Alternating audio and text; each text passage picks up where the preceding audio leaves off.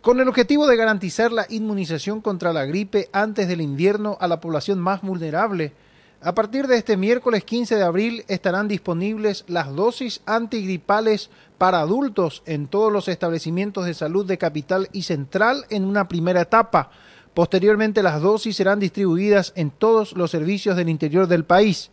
El propósito de la vacunación es prevenir complicaciones y muertes debidas a la influencia estacional que se presentan generalmente en épocas de frío. En marzo pasado llegaron las vacunas para menores de 6 a 23 meses y ahora ya están disponibles para los adultos mayores de 60 años, embarazadas que sobrepasen el cuarto mes de embarazo, trabajadores de la salud que atienden las consultas, enfermos crónicos, enfermos respiratorios, renales, cardiovasculares, los diabéticos y los inmunodeprimidos.